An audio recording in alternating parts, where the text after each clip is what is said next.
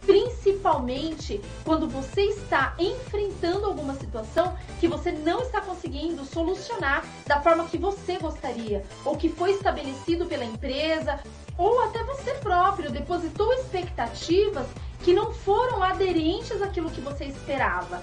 E aí você entra num estado de tristeza, muitas vezes de angústia, e isso para você é, migrar para uma etapa de depressão é muito rápido. Então é muito importante que você desacelere, desacelere.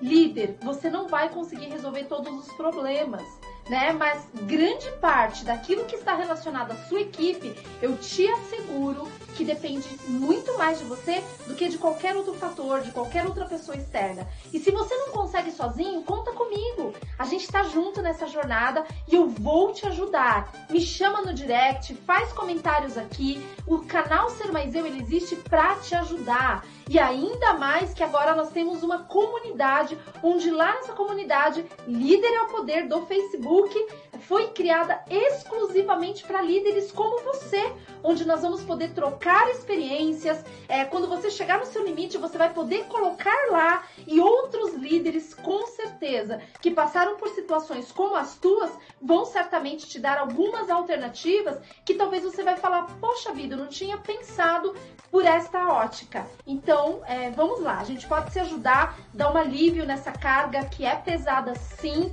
mas que muitas vezes nós próprios colocamos as cargas.